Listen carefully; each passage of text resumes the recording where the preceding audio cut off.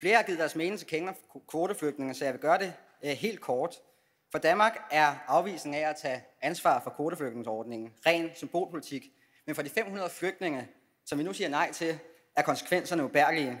Det mener jeg simpelthen ikke kan være, være rigtigt, og det piner mig. Og en nylig rapport har netop slået fast, at når vi i Vesten strammer op, så logisk nok smitter det af på lande i nærområderne, og så går det ikke alene ud over 500 flygtninge, så går det ind ud over millioner. Så kære Mette og Dan, jeg appellerer indrigt til, at vi dropper den beslutning. Den er ulogisk, den er uforståelig. Jeg vil derudover kaste ly...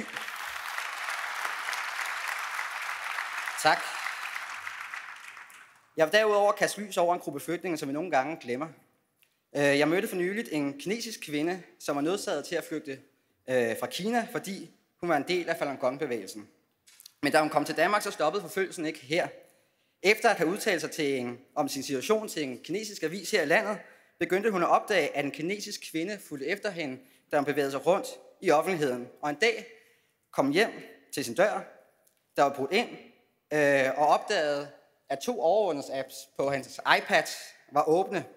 Find My Friends og Find My iPhones, øh, som et forsøg på at overvåge hende. En uhyggelig indgriben i privatlivet.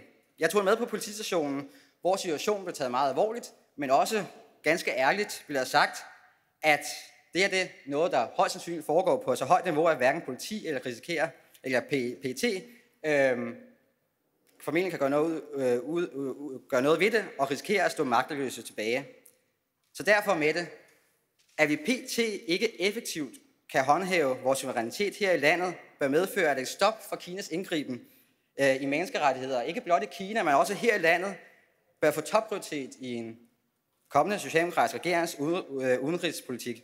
Det håber jeg, at du vil være med til at sørge for. Mange tak.